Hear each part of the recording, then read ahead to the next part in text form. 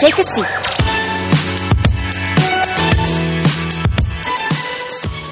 This is the one of the luck changer ceremony in Thailand, very common. Okay, they will cover you with a white cloth. Then they will chant something like, oh, who, who, who, you already died today. From today, you already passed away, whatever. Oh, may you rest in peace, or these are different monks, they will have different practice. So they believe after they do this for you, when you wake up, when you get up again, you will be a reform, lah, just like a reborn all your bad luck will be gone. The good luck, good things will start to come in again. In Chinese, they call it 起死回生改运大法. Come from the dead, then alive. Okay, there, there's going to be a movie coming soon by this Karen Mok and the, the guy who in the shutter, the guy, the long hair guy. The title of the movie is called Coffin, going to be screened by GV. It's something like this. They believe in stripping the coffin, which will allow them to change their luck or allow them to escape their death point, okay, which then they can actually be reborn or continue to survive. Okay, so this cloth, this cloth covering ceremony, a lot of temples in the Thai, in Thai they do it. Some they even get up to nine monks to pray for you. Of course, some are good, then some are bad. You need to actually make sure you get the correct monks who are higher respect. Then the ceremony will work, which I believe. Okay, I have a friend a few years back. He was actually faced with bankruptcy suits lah. People are suing for bankrupts or this. So he, he was around looking for health through this religion and anything that he could believe. lah. He was forced to like sell his house, everything, sell his car. Okay, so if, he also went to seek advice from this Bai Long Wang, ah, the White Dragon King, which a lot of Hong Kong movie star went to. Okay, but that didn't help much. lah. So I intro him to another monk, not this monk, who also very, very specialized in doing this cloth ceremony.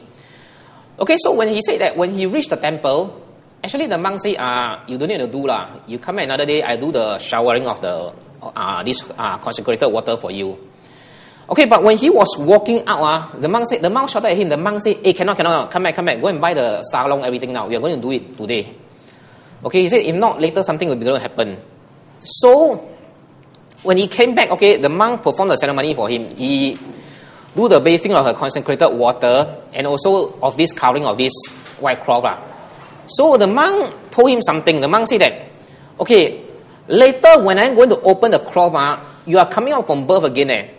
You need to walk out as fast as you can and don't look back out to the temple directly. lah.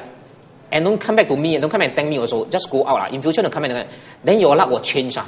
Whenever somebody call you. So true enough, he did that lah, without obstacles. And I don't know whether is this part of the reason. After he come back, a lot of his lawsuit got withdrawn. ah. He didn't end up being bankrupt. In fact, he went overseas lah, which he restart his business ah. And before he went overseas, he even struck the lottery second prize ah. Which the sister told me that, hey, while he's so down in luck already, he still can get a 4D or second prize. We gave him the expenses to go out and rent a place in China, which he redeveloped his business again. So this is the story that I have heard lah, from someone close, someone who I have know that actually the luck did change when they went through this changing of luck, so-called the death and rebirth ceremony. Okay, different monks do it differently. Like this one, I have to lie down and let him really cover up, cover me lah, as if I am dead. Then one very funny incident we had lah on this during this occasion when the monk came in. There was one guy very very fat lah. He come in, oh. so he wanted to do the ceremony.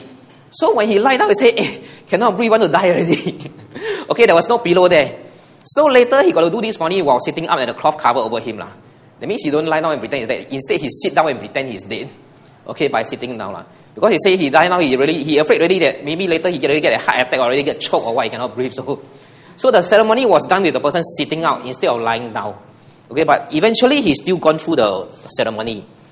So another monk he did it differently. You see, this one is by, by another monk, Long Po Yen, who consecrate those kumantongs, ah, those children deities. Ah. Here's what he did it very differently. He will use sugar cane, okay, cut to the height of the so-called the person who is going to involve in the ceremony. Okay, and then sugar cane as his leg, okay, the hands and the leg, and then bananas as the fingers, okay, and coconuts as the head or even those pomelos as part of the thing. But actually, one of the funny thing is that he used these pomelos, ah, the two things to put at the center, lah, then cover it. lah. So the the person who did this ceremony happened to be a lady. ah. So actually my thinking was, don't know is it because lady then you need to put something round in the center, whereas it's a male then maybe he can exclude the process. ah. But I did not go, go through and ask him. lah. So the lady, the lady who done this ceremony, she's she's not, she don't have to lie down there. Instead, this one acts as, a, as a substitute. Later, they will discard this thing. She will be sitting next to it where they, they attach the string. La. You can see actually, there's a pail of water behind which they later they're going to use it for the, bath, for the bathing and they attach a string. A white string down there, we actually they do the transferring of the bad thing to this thing and then later they discard it. So the one done by this monk, they say that, oh, you don't have to lie down, you just need to buy the sugarcane and cut according to the height. I also have friends done by this monk. I mean, they feedback to me that it's quite good as well, but like I say, I don't know, I have not done by him. So this is another type lah, which they actually they don't use. In fact, last time when I went to a temple in Singapore, uh, okay, they don't have this, but I met up with a devotee who went to ask the donkey. Okay, then the donkey told him, you very down in luck. Okay, so he asked the donkey what to do. The donkey said, I will do something for you, like you go through the death, then you come out again. So what they do is that they use seven color string, okay, represents the main the color of the, the rainbow in the universe, every color, the combinations. They measure according to the height of the people, same thing. And they cut it. Okay, then they get some of his hair. Then they tie to those tisen, the substitute bodies. Okay, the same thing, they also do like certain ceremony. Then they burn the thing off. So it's about the same. It's only that they use the thread.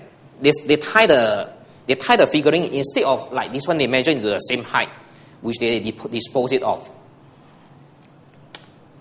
Okay, so when these monks paste go leave uh, they will usually put some oil or some this uh, wax cream on the forehead or on the this on your face first lah. The monk will use this type of cream lah, make of wax. They add in some flower ingredient, all this. They make it very nice smell. You can smell it. Is it nice smell? Yeah. Well, it's, it's very nice actually. So these are some sort of attraction cream also lah. Oh, you can see whether you can smell or not. Oh, the thing. Or your one later can just come and open it and smell. Okay, so the monks they will like I said they can use candle, they can use a lot of things. Uh. So usually they will they will rub this thing on the forehead of the person. So you are a monk. No, no. Some some lay, lay people they do it also lah. Because some monks they are too old, so the assistant will do the thing, then they pose, then the monk just blow and do some prayers lah. Same thing like ladies lah. So, it's a bit drying. okay, so they will apply lah. Usually they use this ring finger lah. They believe it's the gold finger lah. The the so called the love finger, this one. Okay, let's see ready ready go in or not whether we when you rub it.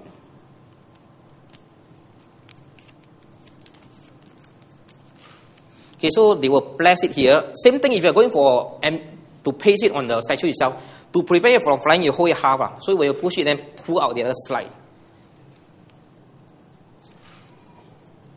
Yeah. Also, usually when the thing is down there, they either use a pen or they use a candle. lah. Then, when ah, I put some more this, I say this one very dry, so. okay. So then they will mumble some prayers and then they will rub. lah. No? You see, then the thing dissolve. lah. Then they will say, oh, wow, the gold go in already. Or some of the Thais will tell you. Oh, so it actually is, is more towards this type of oil and this type of oil and this type of cream. Lah. So that's why some people they have the misconception. I got even one Thai tour guide who bring me to the temple. He said, wow, so powerful. You see the monk do the thing. Oh, I said, no. I say, you ask him don't put this, see whether can or not. If can, then that is powerful. Oh, but most monks, they will use this type of things. Oh. So this thing is going already lah. As you rub, sometimes this one is very dry lah. If it's more, I mean, it's more oily, it's more easy. Then actually you cannot feel. You got migraine? Huh? You got migraine, your sister? Got migraine lah. Then I come to see you. yeah. No, you see the doctor, you don't see me. yeah. Thanks, Michael. Yeah. Okay.